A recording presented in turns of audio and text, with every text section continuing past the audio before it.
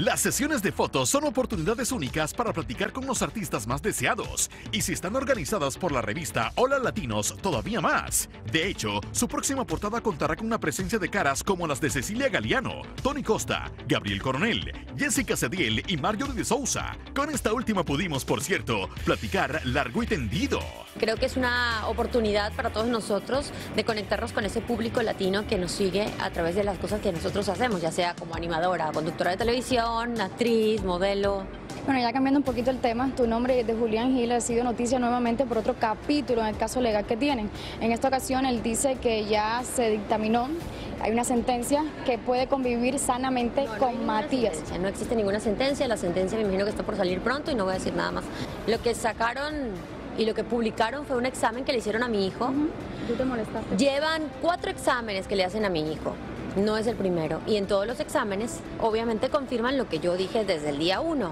Las mamás que saben lo que significa eh, lo que tiene Matías, la gente que entiende, es un tema bastante fastidioso, sobre todo para el bebé, porque tiene que tomar medicamentos, lleva una alimentación estricta, si se te sale un poco de la dieta, es muy fastidioso, tienes que correr a la clínica otra vez.